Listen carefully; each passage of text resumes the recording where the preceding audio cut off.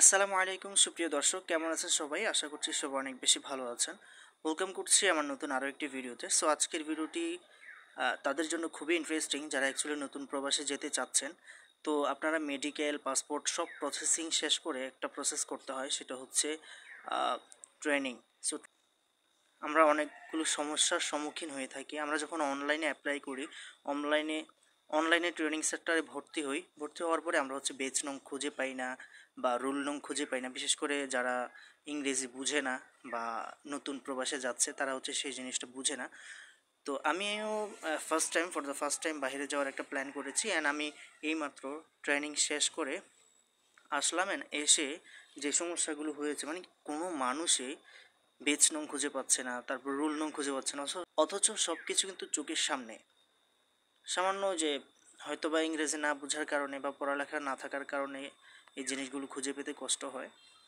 তো আজকের এই ভিডিওটা তৈরি করার মূল মাকসাদ হচ্ছে, আমি জিনিসগুলো দেখিয়ে দিচ্ছি বেস বেস নং কোথায় পাবেন এবং হচ্ছে রুল নং কোথায় পাবেন, এগুলো আমি ধারাবাহিকভাবে আজকের ভিডিওতে দেখিয়ে দিব। আপ- আপনারা স্ক্রিনটাকে লক্ষ্য করুন। ওকে আমরা এই মুহূর্তে মোবাইল স্ক্রিনে চলে এসেছি ওয়েল তো আমরা আমাদের পিডিএফটিকে ওপেন করে নিব। পিডিএফ থেকে দেখাচ্ছি। তো এখানে রয়েছে আমার পিডিএফটি তো এই হচ্ছে আমাদের মূল প্রবেশপত্র যেটাকে বলা হয়, অর্থাৎ ট্রেনিং সেন্টারে ঢুকতে গেলে এটা হচ্ছে সেই প্রবেশপত্র।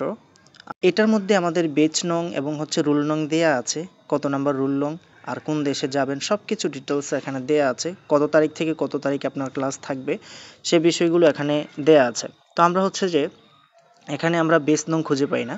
তো আমরা যদি একটু লক্ষ্য করি, লক্ষ্য করলে দেখতে পাবো যে প্রথমেই আপনার নাম থাকবে দেন হচ্ছে পাসপোর্ট নাম্বার রয়েছে দেন হচ্ছে আপনার বেস নং তো বেস নং এর মধ্যে এখানে শেষের অক্ষরগুলো এখানে ধরা হয়, অর্থাৎ ছয়শো চল্লিশ, এটা হচ্ছে আমার বেস নাম্বার অ্যান্ড হচ্ছে রুল নাম্বার হচ্ছে পাঁচশো সতেরো।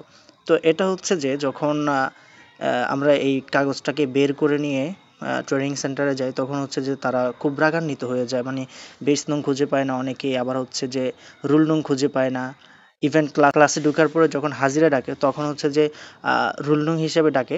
সো রুল নং দেখলাম যে কয়েকবার বলে। দেন হচ্ছে কয়েকবার বলার পরেও অনেকে খুঁজে পায় না, কোথায় বলতেছে। তো আপনারা যারা নতুন যেতে চাচ্ছেন বা যারা এই বিষয়গুলো জানেন না, তাদের জন্য অ্যাকচুয়ালি এই ভিডিওটি তো এখানে হচ্ছে আপনার রুল নাম্বার। হলে ঢোকার পরে আপনার এই নাম্বারটা বলবে, তো আপনি এইটার দিকে নজর রাখবেন, ঠিক আছে? দেন হচ্ছে আপনার যদি শুরুতে ঢোকার পূর্বে আপনার বেস নং হিসাবে ঢুকানো হবে।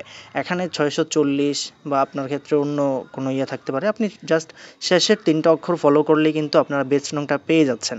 দেন হচ্ছে আপনার রুল নাম্বার তারপর এখানে দেয়া আছে ক্লাস টাইম কখন থেকে কখন, এগুলো এখানে ডিটেলসে সব কিছু দেয়া আছে। তো এখানে আসতে হলে আপনি অবশ্যই এই কার্ডটা হলেই চলবে, বাকি সুবিধার জন্য যদি কখনো পাসপোর্টের ফটোকপি চেয়ে থাকে, তাহলে আপনারা সাথে করে পাসপোর্টের ফটোকপি নিয়ে আসবেন। আমিও কিন্তু ফার্স্ট টাইম এই ধরনের ট্রেনিং সেন্টারে এসেছি। তো এখানে আসার পরে আমি কোনো কিছু বুঝতেছিলাম না, ভিতরে একটু ভয় ভয় কাজ করতেছিল। তো আমি যখন ট্রেনিং সেন্টারের সামনে এসে দাঁড়াই, দাঁড়ানোর পরে এখান থেকে বেস নং ডেকে ডেকে তারপরে হচ্ছে তারা হলের নির্দিষ্ট হলের মধ্যে পাঠাচ্ছিল। অ্যান্ড আমরা বেস নং যখন চিনতে পেরেছি অ্যান্ড হচ্ছে রুল নং ভিতরে ঢোকার পরে, রুল নং অনুযায়ী কিন্তু হলের ভিতরে ঢোকার পর হাজিরা ডাকা হয় অ্যান্ড হাজিরা ডেকে ভিডিও করে দেন, তারা এটা মূল অফিসে পাঠিয়ে দেয়। তারপর হচ্ছে আপনার যিনি ক্লাস করায়, প্রথমেই কিন্তু খুব সুন্দরভাবে আজকে আমি যতদূর দেখলাম, খুব সুন্দরভাবে কিন্তু দোয়া, দরুদ পড়ে দেন হচ্ছে ক্লাসটাকে শুরু করে।